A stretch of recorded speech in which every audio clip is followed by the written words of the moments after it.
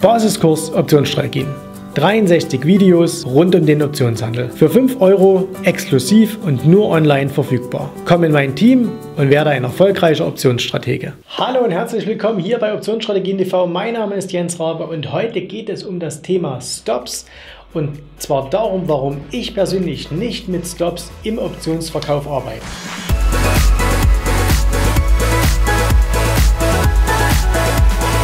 Es ist eigentlich die Frage, die permanent immer mal wieder auftaucht, ne, von sehr vielen, die jetzt hier neu zum Kanal gekommen sind, die in unseren Coachings dabei sind, die vielleicht auch äh, unsere, äh, unseren Börsendienst, die Optionsstrategien abonniert haben. Da gibt es eine Frage, die kommt, naja, man könnte sagen, fast jede Woche mindestens einmal. Und zwar, ähm, wenn ihr doch diese Verlustbegrenzungsregeln habt, ne, warum legt ihr denn dann nicht einfach einen Stop in den Markt? Dann müssen wir doch nicht immer zuschauen und müssen das Ganze nur mental machen.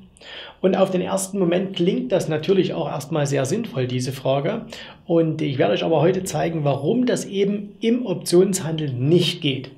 Klären wir erstmal ganz kurz ab, was kann denn überhaupt mit einer verkauften Option passieren? Da gibt es ja grundsätzlich zwei Dinge, nämlich Nummer eins, das Ganze wird ein Gewinner oder eben Nummer zwei, das Ganze wird ein Verlierer. Wenn wir einen Gewinner haben, da können wir uns tatsächlich der Technik bedienen und diesen Gewinner automatisch mitnehmen gäbe es grundsätzlich jetzt auch wieder zwei Möglichkeiten. Zum einen, du lässt die Option wertlos verfallen oder aber zum anderen, du kaufst diese Option an einem bestimmten Preis zurück. Ne?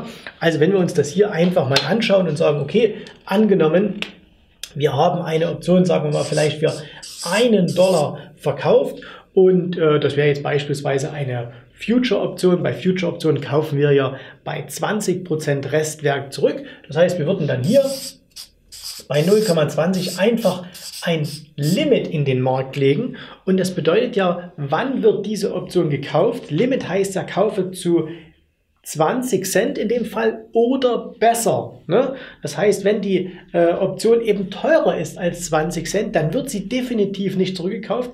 Ist sie billiger, dann wird sie zurückgekauft. Also wenn die jetzt beispielsweise hier bei 9 Cent wäre, dann würde sie auch zurückgekauft. Meistens ist es tatsächlich, tatsächlich so, dass sie wirklich hier für 20 Cent zurückgekauft wird. Das heißt, mit dieser Order, die eben den Preis für unseren Auftrag ganz genau limitiert, kann uns nichts passieren. Die können wir einfach so in den Markt legen, kann überhaupt nichts passieren. Wie ist es jetzt aber mit einem Stop? Ein Stop ist ja eine ganz besondere ähm, Art der, der Order und die meisten von euch kennen das Ganze ja aus dem Aktienhandel beispielsweise. Und ich äh, will euch mal anhand eines Beispiels aus dem Aktienmarkt zeigen, warum ja auch ein Stop im Aktienmarkt nicht das Optimum ist. Und zwar, ich blende euch mal hier einen Chart ein und zwar ist das die Aktie von Amgen großer Biotech-Titel aus den USA und die haben vor einigen Tagen ihre äh, Quartalszahlen veröffentlicht und äh, diese Quartalszahlen wurden nicht so gut an der Börse aufgenommen und ihr seht es, ich habe hier diesen roten Strich, der da drin ist, das sollten die, äh, das sollte unser angenommener Stop sein. Ne? So und Stop heißt ja, wenn dieser Preis berührt wird oder ein schlechterer Preis als das Ganze, aus unserer Sicht heraus gesehen, dann wird diese Order sofort auf, nicht aufgeführt, sondern ausgeführt. Ne? Soll also heißen, in dem Falle hättet ihr einen Stop-Kurs gehabt und der Preis äh, wurde aber eben nicht zum Stop-Kurs ausgelöst, sondern zu einem deutlich schlechteren Preis. Warum? Weil die Aktie eben nach unten gegappt hat. Das kann sich, glaube ich, jeder vorstellen. Jetzt wird der ein oder andere sagen, na ja, was ist denn aber, wenn ich mit einer Stop-Limit-Order arbeite? Ne? Denkt man sich, Stop und Limit, dann habe ich doch beides. Hm, gut gedacht, funktioniert aber in der Praxis nicht immer, denn stellt euch folgende Situation vor. Ihr habt eine Aktie hier und ihr sagt, hier ist mein Stop und äh, damit ich definitiv nicht so schlecht rauskomme, mache ich hier noch ein Limit unten drunter. Ne? Und sage also, die, wenn hier der Preis hierher fällt, so, dann wird der Stop ausgelöst und dann muss sie aber hier mindestens zu diesem Limitpreis verkauft werden.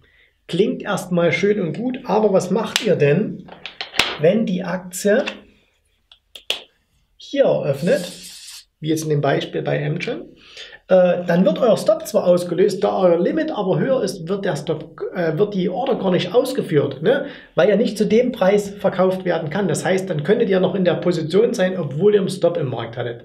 Das heißt, eine Stop-Limit-Order ist auch nicht der Weisheit letzter Schluss. So, jetzt kommen wir aber zu dieser Besonderheit im Optionshandel. Und zwar, das Besondere bei Optionen im Gegensatz jetzt zu, ähm, zu äh, Aktien beispielsweise ist ja, dass Optionen, da haben wir ja nicht diese eine Option. Wenn wir jetzt sagen, diese Aktie hier, Amgen als Beispiel, ne, oder selbst ein Future, äh, da gibt es einen Preis, der gerade gehandelt wird, nämlich der aktuelle Preis. Bei Optionen haben wir aber sehr, sehr viele Laufzeiten, sehr, sehr viele Strikes und das heißt also, sehr viele von denen, ähm, an sehr vielen dieser Optionen findet gar kein Handel statt, zumindest nicht permanent, sondern oftmals äh, kann manchmal tagelang kein Handel in dieser Option stattfinden. Und gerade wenn wir uns Future-Optionen anschauen, da passiert es sehr, sehr häufig, dass manchmal nur zu bestimmten Zeiten Handel äh, stattfindet. Ich habe euch auch hier mal ein Bild gemacht und zwar ist das ein Ausschnitt ähm, von einem Vormittag, von Erdgas oder von Erdgasoptionen. Erdgasoptionen als solche sind eigentlich relativ liquide. Ne? Also die kann man sehr gut handeln. Ich handle die auch sehr, sehr gern. Aber die werden nahezu rund um die Uhr gehandelt. Und ihr seht es jetzt hier in dem Beispiel, ich habe euch diese Pfeile dahin gemacht, da gibt es zum Beispiel nicht mal einen Geld- und Briefkurs auf jeder Seite. Und äh, das heißt, da findet gar kein Handel statt. Und jetzt überlegt euch bitte Folgendes. Und zwar äh, stellt euch folgende Situation vor. Ihr hättet eine Option, sagen wir mal, ihr habt die verkauft für, äh, wir bleiben mal dabei wieder bei einem Dollar und ihr sagt, naja, wenn sich diese Option verdoppelt, also auf 2, ja, wenn die auf 2 geht, 100% Regel bei Future-Optionen, dann setze ich einen Stop und dann wird mir die Option zurückgekauft. Klingt in der Theorie gut, funktioniert aber in der Praxis nicht. Warum? Stellt euch vor, die Option würde nur 30 Cent kosten. Ne, also der Preis ist gefallen, ihr liegt hier schön im Plus. Und jetzt legt ihr nichtsdestotrotz diesen Stopkurs bei 2 Dollar rein, weil er sagt, okay, äh, bei 2 Dollar will ich raus sein. Oder auch gleich, wenn er die am Anfang reinlegen würde. Ne? Ihr verkauft für 1 und legt sofort für 2. Lassen wir mal das hier weg. Ihr legt für 1 rein und äh, legt sofort diesen Stop für 2 rein. Was würde jetzt passieren?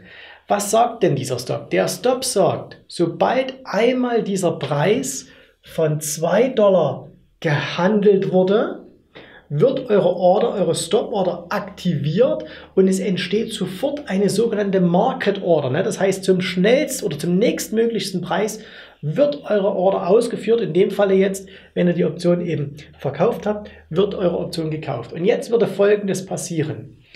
Die Market Maker, und Market Maker, das ist heute nicht mehr so wie früher, äh, die da irgendwie äh, unterwegs sind, äh, also keine, keine Menschen mehr, sondern das sind natürlich Maschinen, äh, das sind Programme, die natürlich für Menschen arbeiten, aber das sind Pro Programme, die durchforsten permanent immer das Orderbuch. Ne?